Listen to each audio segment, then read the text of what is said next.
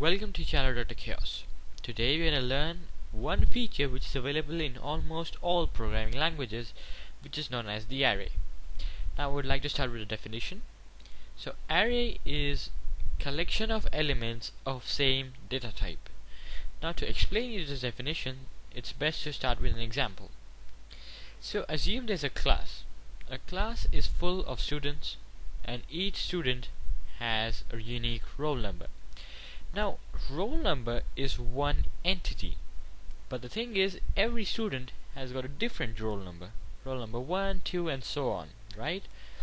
But it's the same thing. Roll number is one thing but every student has got a unique one. Now for example in programming I type in integer roll number. So what we are saying there's is there's a variable where we can store a value right? This is an integer so it's a variable where you can store a value. Now this thing can only store one value in it. For example roll number 1 I can only store 1 in it. What if I have an entire class of students? I'm not going to go and create integer roll number 2 and so on. I have to have a convenient way to do this. So there's one yeah which is the array. What we do is just in front of our variable we just put these brackets. These are the square brackets okay? You have to put these brackets. If not it's not going to be detected as an array. It will give you an error and so on. So make sure you give an squared bracket. Now inside these brackets we specify how much amount of roll number we want. For example if a class is of 32 students so I can have 32 different roll numbers of the same type. Do keep in mind this is the same type. It's a variable. This is not a constant. It's not a character. It's just an variable an integer variable. So there you go. You have got 32 elements available for you. Alright? But the thing is if you insert 32 over here you will have 33 elements. Why is that? Because an array the index of an array starts from an 0 that's just in all programming languages the, the index of an array starts from an 0 so there's 0 1 2 and so on. So this would be whatever value you put in here plus 1 so there's 33 spaces for you to insert a roll number. It's that simple. So this is how conveniently you can specify an element of the same data type but it's a collection of it. See this is a collection of elements of the same data type. It's that simple. Now the only difference between a single variable and an array of variables is the storing and accessing methods for that variable. Now if this would be just let's say roll number the way we would access it we, we would store it is in the following way that's how we would store it cin roll number. So it would just accept one variable. But now the thing is we have got 32 of them. So we need to specify in which of those 32 elements where we want to store it. For example if I specify 16 so then it will store into the 16th element of the array. So that is something to keep in mind. But nobody does it this way because it's very hectic. Because if I want to store let's say five different roll numbers so I would have to do a cin then again type all that crap and then specify another number.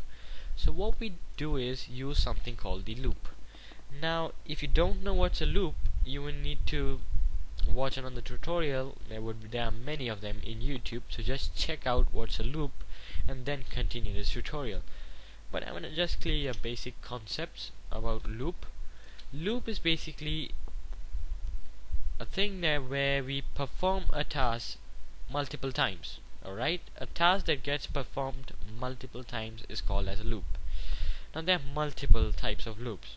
So I'm just gonna use the one that is used for accessing or storing the array which is the for loop. Alright this is the basic things that you should know by now. If you don't don't worry just check out a video and you would be a tutorial obviously. And you should be alright. So this is how you do it.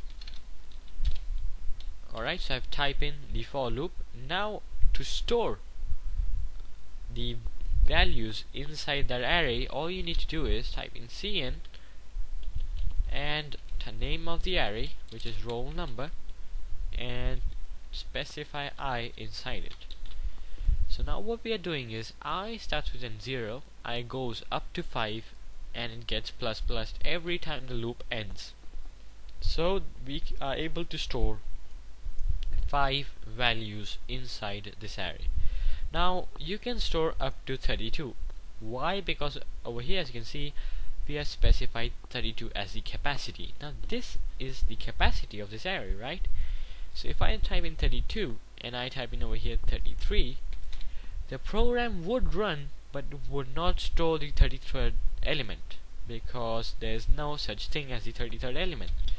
For having the 33rd element we would need to specify over here 33 or higher we can even specify 50 and put it over 33 so this is the capacity and this is how much we want to reach right? If you know what is a for loop you would understand this in a jiffy.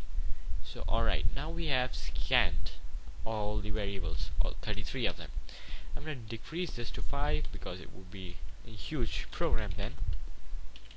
I'm going to type in the basic cout for enter roll number. Semicolon in the front. Alright so I run it.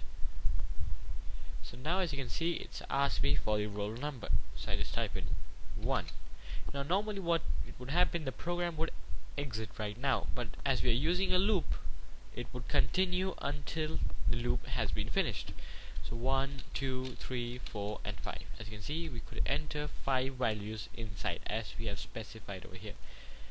Alright so that's the way you store. And if you want to access those one you just type in cout rather than cin name of the array and with the index high it's that simple. So that's how you store and access an array using a loop. So this has been just the basic concept which is an array so array again is a collection of data of the same data type. If it's an integer, it stays an integer. It will not change to character whenever you want. It won't work. That's it's that simple. It is a really convenient way to have multiple elements of the same data type. So anyway, this has been a channel Dr. Caos. I hope you like this video. Rate, comment and subscribe. Thank you very much.